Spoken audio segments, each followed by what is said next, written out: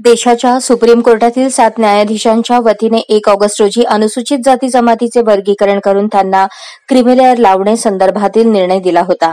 हा निर्णय भारतीय संविधानाच्या विरोधात असून बहुजन समाज पार्टीच्या वतीने बुधवार एकवीस ऑगस्ट रोजी भारत बंद आंदोलन करण्यात आले.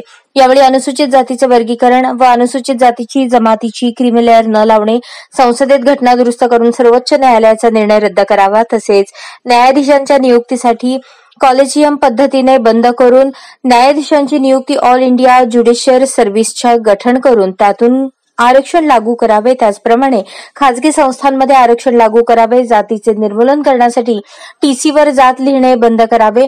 जातीचे दाखले देणे बंद करून फक्त प्रवर्गाचे प्रमाणपत्र देण्यात यावे अशा अनेक मागण्या बहुजन समाज पार्टीच्या वतीने करण्यात आल्या आहेत. आंदोलनाप्रसंगी बहुजन समाज पार्टीचे प्रदेश कार्यकारिणी सदस्य आप्पासाहेब लोकरे प्रदेश कार्यकारिणी सदस्य अॅडव्होकेट संजीव सदाफुले जिल्हाध्यक्ष बबलू गायकवाड जिल्हा प्रभारी टी ए लोहार जिल्हा प्रभारी योगेश गायकवाड कार्यालयीन सचिव शिलवंत काळे शहराध्यक्ष राहुल सर्वगोड शहर प्रभारी सुहास सुरवसे शहर युवक अध्यक्ष अमर साळवे माजी शहराध्यक्ष देवा उघडे बहुजन समाज पार्टीचे कार्यकर्ते उपस्थित होते.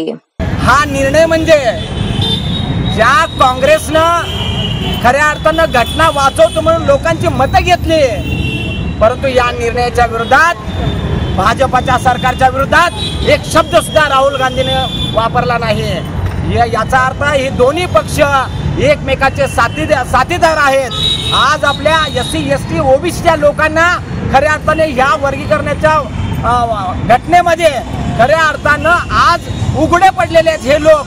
तर आम्ही बहुजन समाज पार्टीच्या वतीनं या सर्वांचा आम्ही निषेध करतो बहीण मायावतीजी आणि महाराष्ट्राचे अध्यक्ष डोंगरे साहेब यांच्या आदेशानुसार आज आम्ही बंद पुकारलेला आहे. त्या बंदला सर्व सोलापुरातून आम्हाला मोठ्या प्रमाणात प्रतिसाद मिळाला त्याबद्दल सर्व व्यापाऱ्यांचा आम्ही आभार मानतो.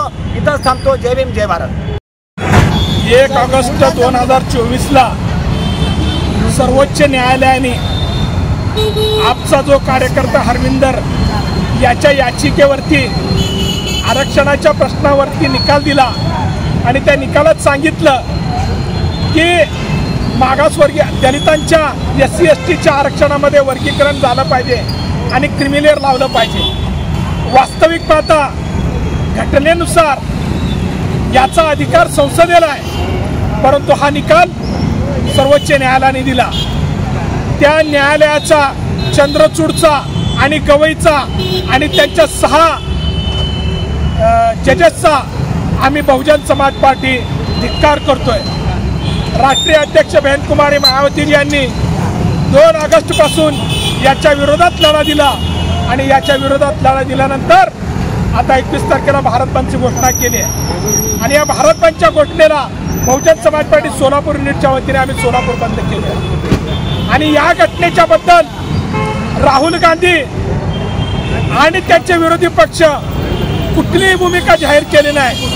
ना देवेंद्र फडणवीसनी केली ना एकनाथ शिंदेनी केली शरद पवारनी केली किंवा अजित पवारनी केली.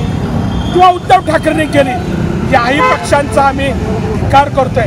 तसेच स्वतःला आंबेडकरवादी समजून त्या नरेंद्र मोदीच्या या आरक्षणाबद्दल जे जे स्वतःला आंबेडकरवादी समजून त्याचं समर्थन करतात अथवा गप्प बसतात त्यांचाही बहुजन समाज पार्टी धिक्कार करत आहे. आणि जीवाच्या आकांतानं जीवाच्या रक्ताचा थेंब असेपर्यंत आम्ही ही लढाई करणार आहोत. महाराष्ट्राचे अध्यक्ष ॲडव्होकेट सुनील डोंगरे साहेबांच्या आदेशानुसार बेनजीतच्या आदेशानुसार हा बंद केला आहे